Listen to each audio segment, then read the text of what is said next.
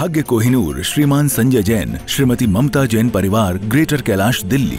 सौभाग्य भक्त, श्रीमान विजेंद्र जैन, श्रीमती निर्मल जैन परिवार, गुरुग्राम। सौभाग्य भक्त श्री मनीष गोधा, श्रीमती सपना गोधा गोधा एस्टेट परिवार, इंदौर।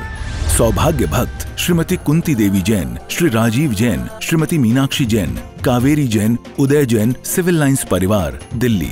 सौभाग्य भक्त Shri Amit Jain, CA Shrimati Anshul Jain, Anshika Jain, Anutar Jain, Green Park, परिवार दिल्ली। सौभाग्य भक्त श्री राजीव जैन, श्रीमती साक्षी जैन, श्री आयुष, श्रीमती दिशा अगड़िया, श्री नमन जैन, श्रीमती ईशा जैन, परिवार गुड़गांव। सौभाग्य भक्त श्री आलोक जैन, श्रीमती पायल जैन, कनिष्का जैन, शौर्य जैन, परिवार भजनपुरा, दिल्ली।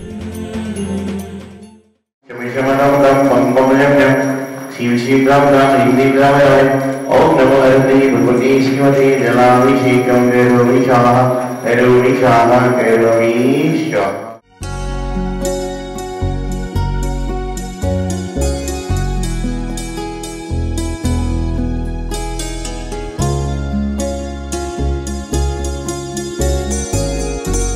ओम ह्रीं श्रीं क्लीं मम हम हम सम सम तम तम पम पम जम जम छीं छीं राम राम नीम नीम राम रावे ओम नमो अरते भगवते, श्रीमत सत्य श्रीमान संजय, श्रीमती सर्वसुकृत जिते मटी इतवाटी सर्वस्व सर्वस्कृत सर्वसिद्धाय करोमि स्वाहा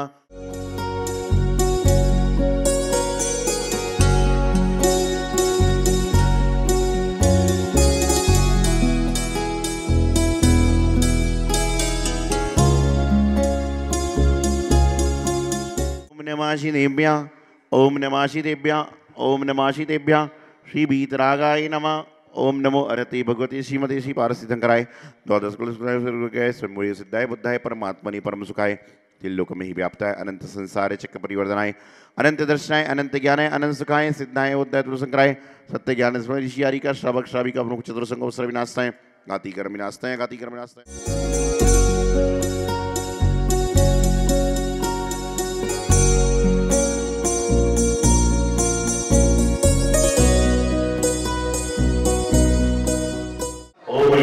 श्री प्रथम ऋषि आदिनाथाय नमः ये दोनों लाड़ी महादेव बावली शाह जय ऋषि आदिनाथ भगवान की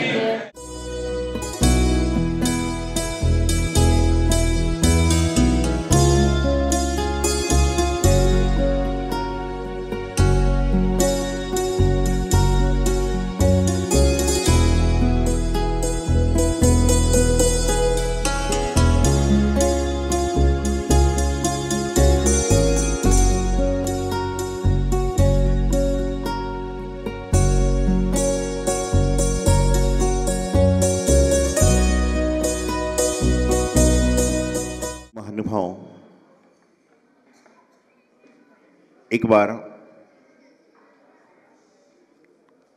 एक इंसान से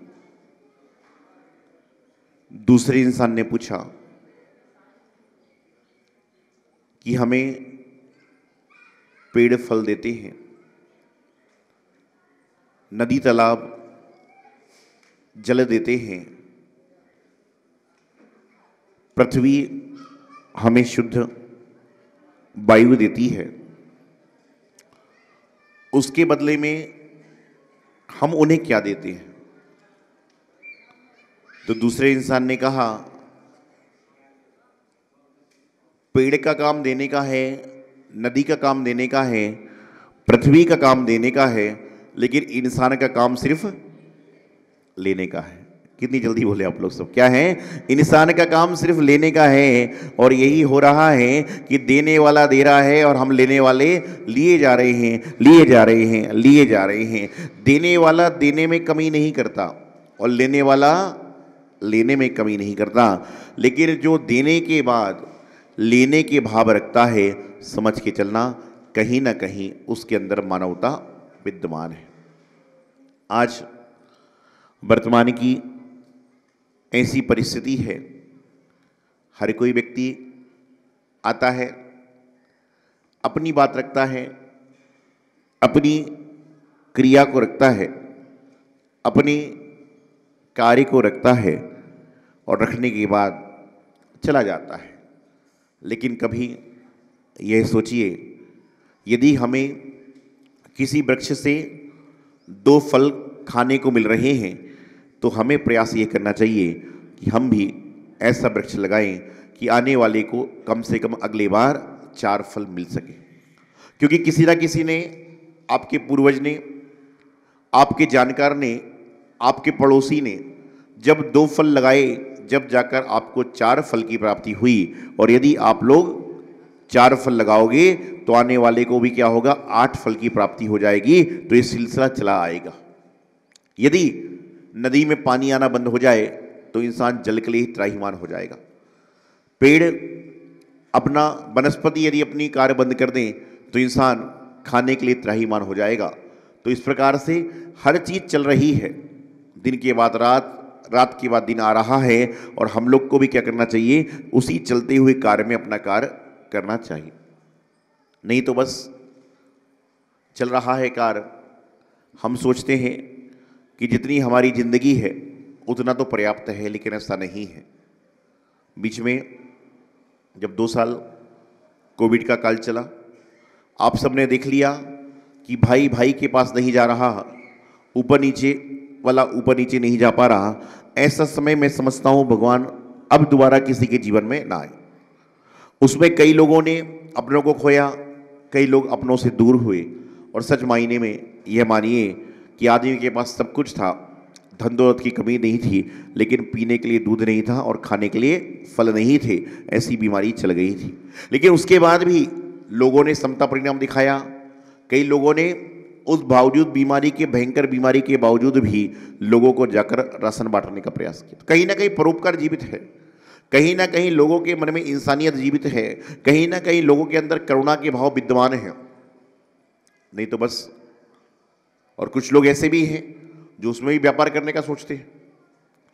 आप सबने देखा होगा चार पाँच साल पहले अष्टापद कैलाश पर्वत पर एक तबाही हो गई थी। यदि आपने सुना होगा चार पाँच साल कम ज़्यादा हो सकते हैं। तो वहाँ पर तबाही ऐसी चली कि लोग बह गए, बादल फूटा, पानी बहा। कहते ना, जहाँ पर मिठाई होती है, वहाँ पर मक्खी अपने आप आ जाती है। और जहाँ पर भीड़ होगी, वहाँ पर चोर अपने आप आ जाएँगे। औसी दुर्दशा में भी मैं दिल्ली में था। मैंने न्यूज़पेपर में सुना, पढ़ा था। न्यूज़ में जब कोई बता रहा था कि सुनाई हुई थी कि वहाँ पर कई तरह के चोर पहुँच गए।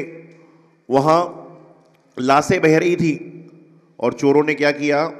कुकर के अंदर जो लाशें बह रही थी, उनकी उंगली काट ली जिसमें अंगूठी थी और कुकर के अंदर रख लिया। ऐसे ऐसे लोग भी विद्यमान हैं। ऐसे ऐसे लोग भी विद्यमान होते हैं कि जो वहाँ पर जाके सहायता कर रहे हैं, लेकिन चोर मुर्दे की भी उंगली काटकर, अंगूठी वाली उंगली काटकर कुकर में रख रहा है पकड़े गए, इसलिए बात मालूम चली। तो ऐसे लोग हैं। यहाँ पर आप आ रहे हो भगवान जी के मंदिर में दर्शन करने के लिए, पूजन करने के लिए, गुरु दर्शन करने के लिए, गुरु सानिध्य पाने के लिए। और कोई व्यक्ति आपके साथ में आ रहा है कि मैं कचरे जी आऊँगा और मेरा हिसाब किताब बाकी वो मैं कर लूँगा। अरे, हिसाब किताब करने मत आओ। आप भगवान के पास में अपने कर्मों का हिसाब किताब करने आओ, अपने कर्मों का लेखा जोखा करने आओ तो आपके जीवन का निश्चित रूप से कल्याण हो जाएगा, क्योंकि परमात्मा के पास न कागज़ है, न पेन है। परमात्मा के पास न कागज़ है, न पेन है, लेकिन ऐसा कोई इंसान नहीं है जिसका हिसाब किताब लेखा जोखा उसके पास नहीं है। और मैं हमेशा एक बात कहता हूँ, कोई प्लस करता है कोई माइनस करता है। हम लोग क्या करते हैं? कोई जोड़ता है, कोई घटाता है, कोई कुछ करता है, कोई व्यक्ति प्लस करता है, कोई व्यक्ति माइनस करता है, लेकिन परमात्मा ही एक ऐसे होते हैं जो प्लस माइनस नहीं करते, बल्कि सबका हिसाब बराबर कर देते हैं और सारे के सारे हिसाब को बराबर करने का प्रयास करते हैं। तो अपने जीवन में आ रही समस्याओं की प्राप्ति कर, से छुटकारा पाना है। निश्चित रूप से प्रतिपल प्रतिक्षण समस्याएँ आ रही हैं और कुछ समस्याओं का आवागमन कराने वाले हम लोग हैं। आप यहाँ पर बैठकर ज़ोर ज़ोर से चिल्लाओगे, तभी तो लोग आकर बोलेंगे कि भाई सब धीरे बोलिए, हम भी पूजा कर रहे हैं। और आप यदि प्रेम पूर्वक पूजा करोगे तो कोई व्यक्ति आपसे नहीं कहेगा, बल्कि आते जाते व्यक्ति देखेंगे कितना सुंदर व्यक्ति है, जो कितने सुंदर तरीके से पूजा कर रहा है। एक बार एक व्यक्ति शादी की दहलीज पर था। उसने सुना था कि शादी खुरा सरल है, लेकिन शादी के बाद, शादी के बाद शादी को निभाना बड़ा कठिन है। मुझे इसके बारे में कुछ पता नहीं शादी होना तो सरल है, लेकिन शादी के बाद शादी को निभाए रखना बड़ा कठिन है। एक संत के पास पहुँचा। बोले, संत जी, मुझे बताइए कि मैं वैवाहिक जीवन में प्रवेश कर रहा हूँ तो मेरा जीवन अच्छा चले, इसके लिए मैं क्या करूँ? उन्होंने कहा, जाओ, बाहर एक अन्य संप्रदाय के संत थे, वहाँ पर एक सदग्रस्त है, उसके पास जाकर पूछो कि मैं शादी के मंडप में प्रवेश कर रहा हूँ, मेरा जीवन कैसे हो? वह पहुँचे, ठंड का समय था, और जिसको पूछने के लिए बोला था, वह धूप में खाट डालकर बैठा हुआ था। वह धूप में खाट डालकर बैठा था। उसने कहा, भाई, मैं एक प्रश्न लेकर आया हूँ कि शादी के बाद वैवाहिक जीवन कैसा हो? उसने अपनी पत्नी को अंदर आवाज़ दी। बाहर धूप में खाट पर बैठा था। अपनी पत्नी को अंदर आवाज़ दी कि लालटेन लेकर आओ। क्या कहा? अंदर पत्नी को आवाज़ दी कि, लालटन लेकर आओ। आप सोचिए कि यदि आपके घर में, यदि आप रोशनी में बैठे हो और आप अपनी पत्नी को बोलो कि, टार्च लेकर आओ तो जवाब क्या आएगा? क्या आएगा, आप समझ सकते हैं? तो उन्होंने कहा कि, लालटेन लेकर आओ। अंदर से पत्नी लालटेन लेकर आ गई। तो आदमी पूछता, कैसा आदमी है? धूप में बैठा हुआ है और लालटेन को मांग रहा है। उसने लालटेन लाकर दे दी। इतने में पति ने आवाज़ दिया, जोड़ों की भूख लग रही है, टमाटर ककड़ी का सलाद लेकर आओ। टमाटर ककड़ी का सलाद लेकर आओ, अंदर से केले और मटर आ गए, टमाटर सब्ज़ी, टमाटर ककड़ी नहीं आई। सोचिए, ऐसा यदि कोई पत्नी कर दे कि टमाटर ककड़ी की जगह केले और मटर लेके आए तो क्या होगा? उसने कुछ नहीं कहा। इतने में पत्नी ने कहा कि बाहर पानी का घड़ा रखा है, कम से, अंदर ला कर दे दो। उस आदमी ने घड़े की जगह छोटी सी हंडी उठाकर अंदर ला जाकर दे दी। पत्नी ने कुछ भी नहीं कहा। ऐसे चार पाँच वाक्य हुए। उस आदमी ने कहा, ये तो निरा पागल है, इससे मुझे क्या, मैं तो चलता हूँ? उसने कहा, भाई साहब, मैं अरे बोले, आपका समाधान तो सोच लीजिए। बोले, नहीं, मुझे कोई समाधान नहीं चाहिए, मैं तो जा रहा हूँ। वह संत के पास पहुँचा। बोले, संत जी मैंने गृहस्थी बसाने की बात करी थी, आपने तो ऐसे ही आदमी के पास भेज दिया जो गृहस्थी उजाड़ने की बात कर रहा है। बोले, क्या हुआ? बोले, वह बाहर धूप में बैठा हुआ है, अपनी पत्नी से कह रहा लालटेन लेकर आओ। तो उसने कहा, फिर क्या हुआ? बोले, पत्नी भी निरी मूर्ख है, क्यों जाकर लालटेन लेकर आ गई? तो उस संत ने कहा, यही तो वैवाहिक जीवन का सार है कि पति यदि धूप में भी लालटेन मांग रहा है तो कोई ना कोई कारण होगा। तो पत्नी को चाहिए कि चुपचाप लालटेन लाकर दे दे। नहीं तो आज की, आज के जमाने में क्या होगा कि वो दिखता नहीं है कि धूप में भी लालटेन मांग रहा है। और अंदर से जब, ठीक है, बोले, पति की बात समझ में आई, लेकिन अंदर से जब पत्नी ने कहा कि पानी का हंडा लेकर आ जाए और इसे छोटी सी छोटी सी पानी का ला दिया अरे बोले, भाई, हो सकता है कि बड़े हंडे में पानी ना हो, इसलिए छोटा हंडा पानी ले जाकर दे दिया। उद्देश्य तो पानी का था, लेकिन आजकल के समय में पेशेंस नहीं है। सुन तो लो, पत्नी ने पति से कहा कि दुकान, बाज़ार जाते जाते टमाटर लेकर आ जाना, और गलती से वह मटर लेकर आ गया तो क्या होगा? क्या होता है? क्या होगा? कि क्या जैसा टमाटर लेकर आए और मटर लेकर आ जाए तो झगड़ा फसाद चालू हो जाएगा। कभी ये भी तो सोचो कि वहाँ पर टमाटर नहीं होंगे तो कम से कम पति टमाटर की जगह मटर लेकर तो आया, खाली हाथ तो नहीं आया।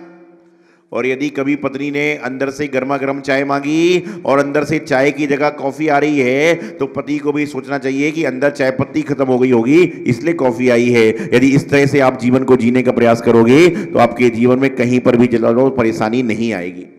लेकिन आज जीवन में चल क्या रहा है?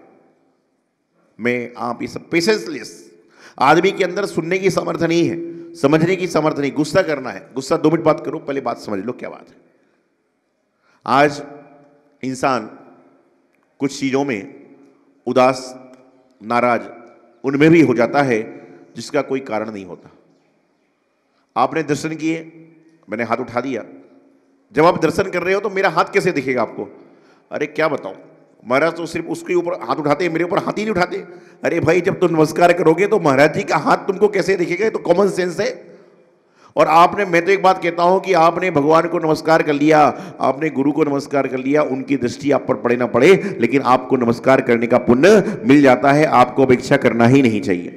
लेकिन आज इंसान जैसा घर में कर रहा है वैसे ही मंदिर में करता है और जैसा मंदिर में कर रहा है वैसे ही सत्संग में करने का प्रयास करता है। कर्म करते जाओ फल अपने आप मिल जाएगा। तो मैं बता रहा था आपको कि यदि पेड़ लग, में कहीं आम मिल रहे हैं तो इंसान से क्या पूछा गया था कि कोई पेड़ से फल मिलते हैं गाय दूध दे रही है सब कुछ दे रही है लेकिन हम लोग क्या कर रहे हैं? तो इंसान ने सीधा सा जवाब दिया लेने देने का काम तो लोगों का है और इंसान का काम मात्र आज के समय में लेने लेने का हो गया है। देने का काम इंसान से होता नहीं तो अपने जीवन में आत्मोत्थान की राह पर चलें, जीवन का कल्याण करें। यही मंगल संभावना आचार्य गुरुदेव सिद्धांत सागर जी महाराज की।